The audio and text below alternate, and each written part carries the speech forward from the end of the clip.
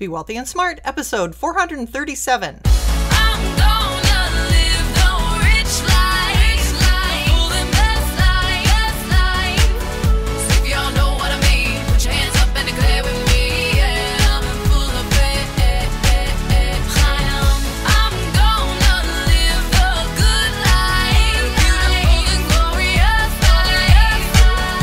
Into a world of wealth and financial freedom without budgets, boredom, or bosses on Be Wealthy and Smart.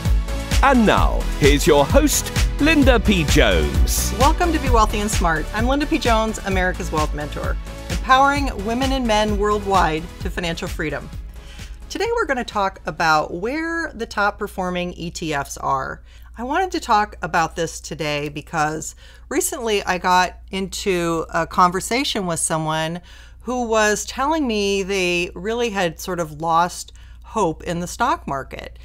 And I asked why, and they said, "Well, the S&P 500 has really been underperforming, and so therefore the stock market really isn't doing what it used to do." And I was really pretty dumbfounded because, uh, well, for a lot of reasons, which I'll share with you, but that isn't exactly how I see it at all. First of all, we have to always take a long term view of the stock market. If you don't have five years or longer to invest, then you probably shouldn't be in the stock market. But if you have longer than five years to invest, then it's absolutely something that you want to look at.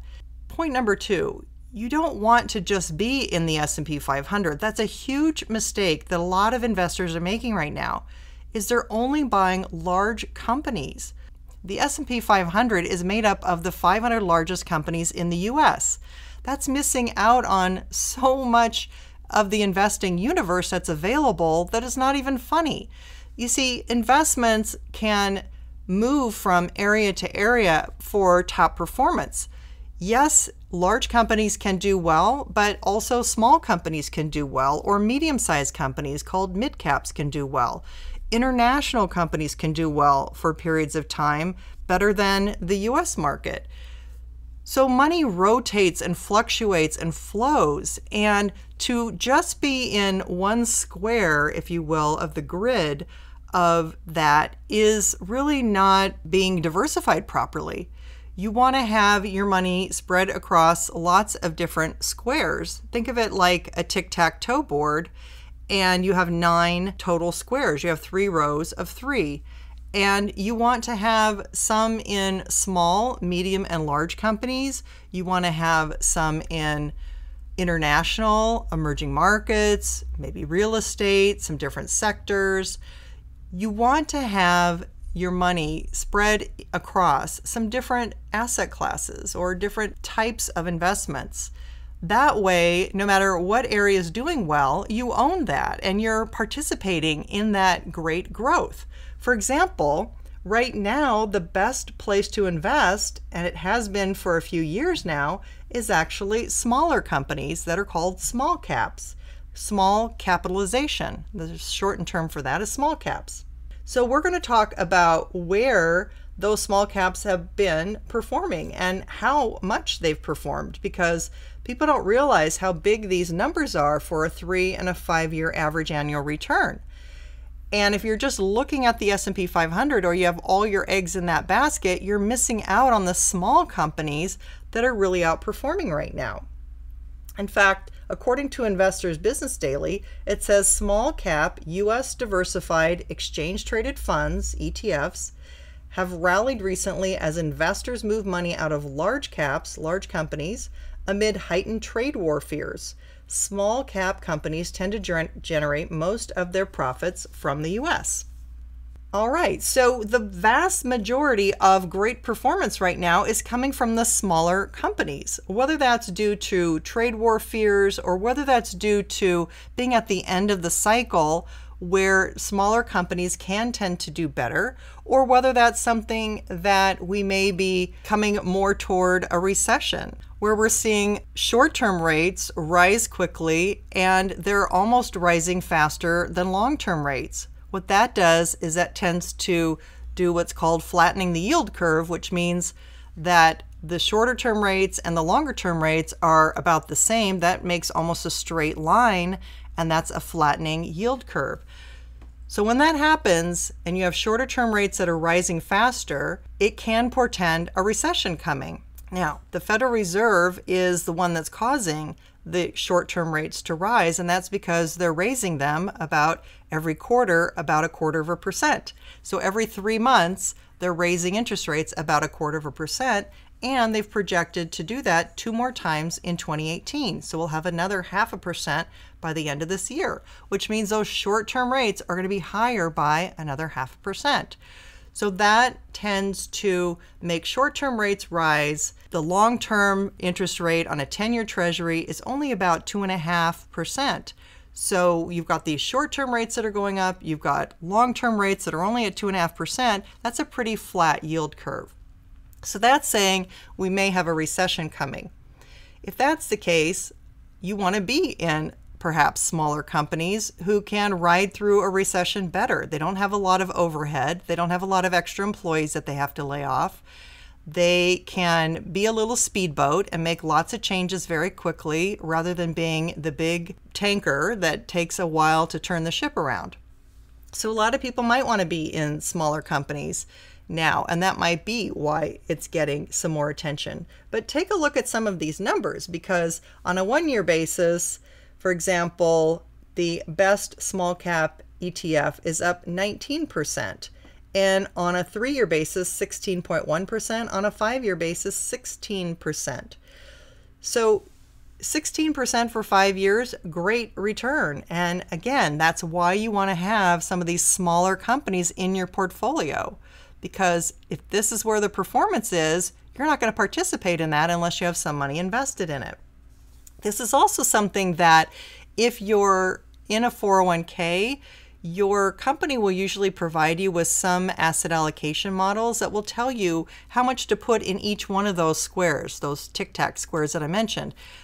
They'll tell you what percentage of your money should be in each one of those. So you look for an ETF that is a small cap ETF, plug that into the small cap percentage of the asset allocation model. So, for example, if they said 15% should be in small cap ETFs, then you find that from your list available on your 401k and you put 15% of your money in there. So, what was that small cap ETF that I mentioned? It was First Trust Small Cap, and the symbol was FYC. The second best performing ETF was the SPDR S&P 600 Small Cap Growth, which is symbol SLYG, and it was up 15.5% year to date, and on a three-year basis, 14.6, and on a five-year basis, 16.5%. Then the iShares S&P 500 Small Cap 600 Growth, symbol IJT, and that was up 15.4% year to date, on a three-year average, 14.6, and 16.5, same as the SPDR S&P 600 Small Cap Growth. The fourth best performing was the iShares Russell 2000 growth, symbol IWO. It was up 15% year to date, and for three years, up 11.7%, five years, 15.2%. Then the Invesco QQQ Trust, symbol QQQ, up 14.2% year to date, 18.4% for a three year average, and 21.5% on a five year average. Now, I do have to say the QQQ is a technology ETF. So just know that you're going to be in companies that are technology oriented. So it's really more of a sector fund. It may have less diversification, it might have more fluctuation, and that's why you're getting the higher return there because they are probably taking more risk. They have a higher beta, meaning it just is it's going to take more risk and fluctuate. Then the Invesco S&P 500 Pure Growth, symbol RPG. Year to date, it's up 13.7%. On a three year average, it's up 13.1, and on a five year average, 16.4. So, again, these are US diversified ETFs. And you can see that the first four were really small cap. Then we had the QQQs, the technology fund. Now we had the S&P 500. So the larger companies, you can see how they've performed and then the Vanguard Small Cap Growth VBK Year to date up 13.6%, 3 years 11%, 5 years 13.6. Then we have the iShares Core S&P Small Cap symbol IJR up 13.1% year to date, up 14.2 on a 3-year basis and 15.7 on a 5-year basis. Then the Innovator IBD 50 symbol FFTY up 12.7% year to date and 12.7 on a three year basis. We don't have a five year, it must be younger than five years old. Then we have the First Trust Large Cap Growth AlphaDEX, symbol FTC, up 12.3% year to date, 12.1% on a three year average, and 15.8% on a five year average. Then the First Trust Dorsey Wright Dynamic, symbol FVC, up 12.1% year to date, and uh, it only has a one month performance, 3.5% for one month. It doesn't have a three or a five year average, so brand new fund.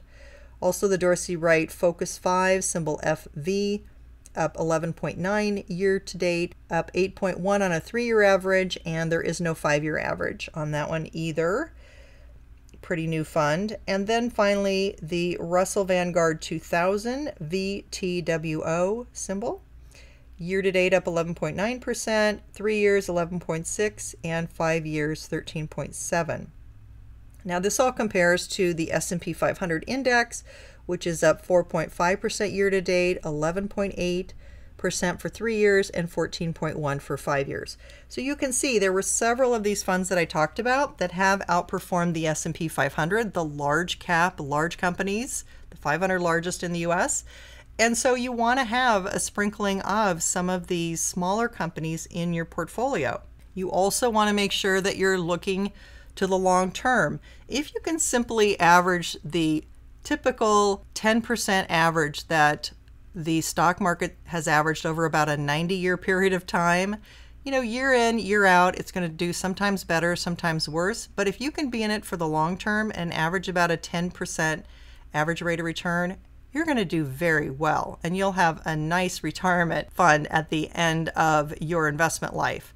So to be worried about what the S&P has done for the last few years or the fact that year to date what it's doing it's simply just not something that you want to be paying attention to. You want to be looking at the long term track records. You want to make sure you're well diversified, that your asset allocation is a good mix of different exchange traded funds or other mutual funds. You want to just be sure that you're covering all the boxes so that you can participate wherever that great performance is happening you're going to have some in your portfolio and it's going to continue to build your wealth and help you reach your financial goals for financial freedom. I know that was a lot of numbers and I apologize for that. So I am going to leave this chart on my website where you can look at pictures like this. So I'll be able to post that on the website at lindapjones.com and just go to the podcast section and then this number of podcasts, 437, and you'll be able to see the chart for yourself. If you haven't yet subscribed to the podcast, please hit the subscribe button and you'll be updated as soon as new podcasts are available. If you haven't left a review yet for Be Wealthy and Smart, I'd love to hear from you. What are you waiting for? I want to know what you think about the show, and I love reading people's reviews. And if we haven't connected yet on Instagram, get your daily tips and quotes and ideas and fun things about wealth building over at instagram.com forward slash Linda P. Jones. That's all for today. Until next time, live the good life and be wealthy and smart. Thank you for listening to Be Wealthy and Smart with Linda P. Jones. Share the wealth and tell your family and friends about the show. Check out our website, blog, and social media for more riches at www.bewealthyandsmart.com.